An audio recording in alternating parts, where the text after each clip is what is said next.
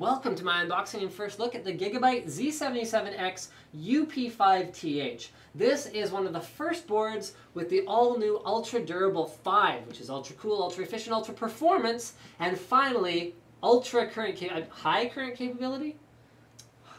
Should be ultra current capability because check this out. They're using an all new power delivery system that is basically as expensive to implement on a motherboard as like building another low cost motherboard and like giving it to you at the same time as you buy this motherboard. is extremely expensive on Gigabyte's side, but it is unprecedented in terms of the power delivery that it can achieve. There's no coil whine, it runs cooler, which should achieve better overclocking because having those hot VRMs all you know up in your CPU's socket area is not helping things stay cooler on more traditional power delivery systems. So let's go through some of the other stuff. You got support for all the latest Intel Core i3, i5, and i7 processors, their UEFI 3D, uh, 3D BIOS, as well as their 3D power, which is all digital power for the CPU, the memory, as well as the um, the Uncore. This board supports Thunderbolt, so we'll talk more about that later, and it comes with a 300 megabit per second dual band Wi-Fi and Bluetooth 4.0 card.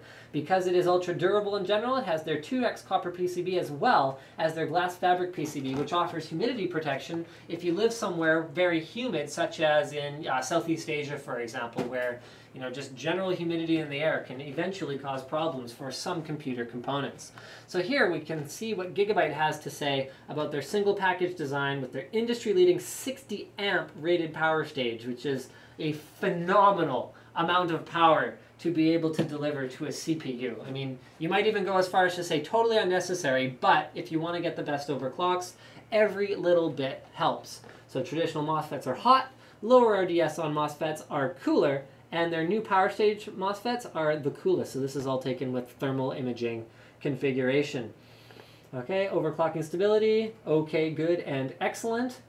So if you overheat, ah yes, this is interesting. So if the power delivery system runs cooler, it actually also runs more efficiently and more stably. So uh, that's, that's just a general function, the fact that it can deliver more power stably of the fact that it does run cooler. Dual UEFI BIOS means that even if you have some kind of a failure while you're flashing the BIOS, you can recover it quite easily using their utility. Uh, you've also got power failure protection, so they build this into the board itself so that even if there's some kind of a problem with the short, they have fuses built in that will potentially protect the parts. Dual Thunderbolt is built in with dual 10 gigabit per second capability. So if you want to plug in like, you know, a dozen Thunderbolt devices daisy chained all over the place and have 20 gigabit per second uh, data to the whole thing, then you can go ahead and do that. Sound Blaster X5 is built in. And that pretty much does it for the box. Let's open this bad boy up, and I just love Gigabyte's styling these days. I mean, honestly, some of their uh, some of their G1 series stuff doesn't really do it for me with like guns and whatnot on it, but their uh, their uh, their they're just their UD series boards are just oh they're just like look at this matte black PCB every possible feature without overdoing it on the PCB size. So this is a standard ATX configuration. They also have built in the full seven slots of expansion in spite of all the extra functionality that's on this particular board. Let's start unpacking some of the accessories here so you guys can have a look at them.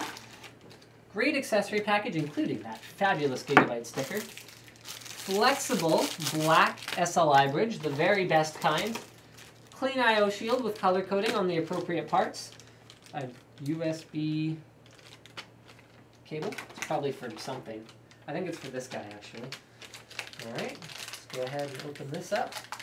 And then we are ready to go through it. So we've also got a user's manual with driver disk for a variety of things. Just download the latest off the Gigabyte website, as well as a uh, user's manual for what is presumably the wireless card, setting up the software, and a multilingual installation guidebook that you probably won't need if you watch the Linus Tech, or rather NCIX Tech Tips video on how to, how to uh, build your new PC. So yeah, that's USB right there. So that can plug into any one of the PCIe 1X slots. And here's something cool about Gigabyte's implementation of their Wi-Fi Bluetooth module. This is just a Wi-Fi Bluetooth module. I've seen ASUS do this before where they include some kind of a module that fits on the board, but they actually put all the logic on the board itself. so that you can't just take the card as an extra value add and install it in one of your other PCs if you want. So kudos to Gigabyte for giving users the flexibility to, you know, maybe in five years when they're not using this board anymore, to still have, you know, a Wi-Fi Bluetooth module know, that they can continue to use. Also, nice finishing touches, black PCB, even on the add-in card. So many times I've seen, you know, like a gorgeous looking board like this and they include like an ugly brown SLI bridge. Or they include like a little add-in card that's got like a green or brown PCB on it. Nope, not Gigabyte. They are not about that these days. Six SATA 3 6 gigabit connect, uh, 6 gigabit per second cables. You've got a front USB 3.0 uh, 3.5 inch bay device. So if your case doesn't support front USB 3, then you'll have it. I think I covered pretty much all this stuff. Antennas, so those are the dual antennas for your dual band Wi-Fi. And now let's get along to the board itself. So this thing has everything. There are those premium power phases that are just baller as heck because yeah, I'm I'm totally I'm totally down for those. Uh, there's your CPU socket. So again, you know all the latest processors. If you want to overclock, make sure you get a K series processor because those are the ones that are going to allow you to crank up the voltage, crank up the multiplier, and really get the best results. Uh, anything non-K series, this board is probably going to be wasted on it. Your 8-pin power connectors in its ideal location in the top left of the board, and you've got your full support for the usual up to 32 gigs, so 4 by 8 gig dual channel memory. Your onboard switches are all up here. Perfect. This is this is perfect. So the CMOS clear, reset, and power, and instead of having them down here, where as soon as you load a couple graphics cards into it, you can't really reach them, this is the ideal location for an open test bench. All your voltage checkpoints are right here, so you can use a multimeter in order to check any one of these different things, including your V-core, as well as your integrated memory controller, all that good stuff, your memory. Uh, moving down to along the right-hand edge, you got your 24-pin connector in its ideal location. Uh, post LED, again, this is a much better location than down here because you can actually see it. Uh, wow, check this out, you guys.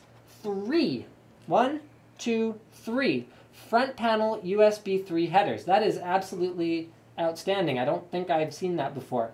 Auxiliary SATA power connector. So this, do not plug this out to a drive. That is not how this works.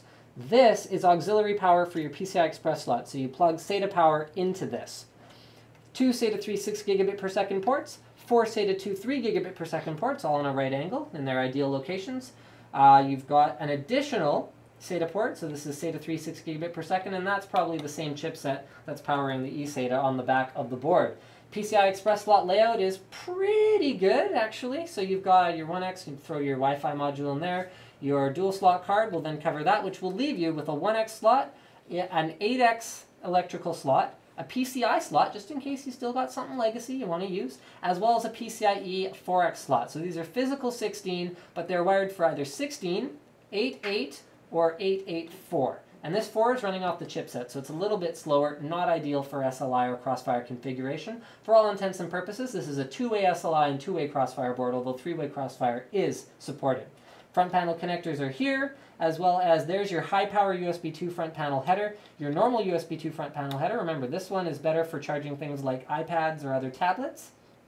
Trusted platform module, front panel FireWire, front audio, and then here is all of your onboard audio, um, along with your onboard audio stuff.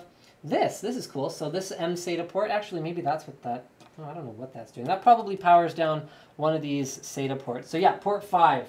Port 5 turns off if you populate this. So you can use this for things like smart response technology or even just as a regular SSD. It's totally up to the individual end user. So where's our Thunderbolt chipset? Oh yeah, there we go. Right there.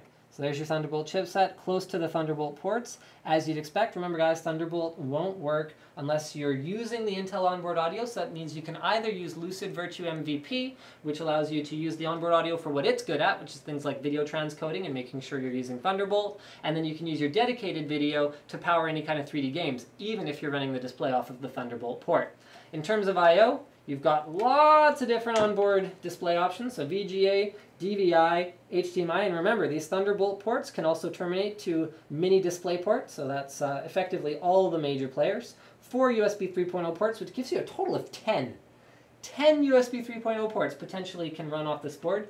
Two USB 2.0 ports, which are great for legacy devices, like if you need to uh, uh, use a bootable USB or something like that, it tends to have a slightly better compatibility. Same thing with like keyboards and mice. So I'm glad they're still including those. Gigabit Ethernet, as well as optical audio out and 7.1 audio out. The back of the board is pretty much what you'd expect. So you got a couple of cooling uh, heat sinks here, as well as your back plate, and using all screws, all hard mounts for all of the front components of the board. So thank you for checking out my unboxing and first look at Gigabyte's GA Z77X UP5TH. This has a few firsts, including its dual Thunderbolt ports. Don't forget to subscribe to Linus Tech Tips for more unboxings, reviews, and other computer videos.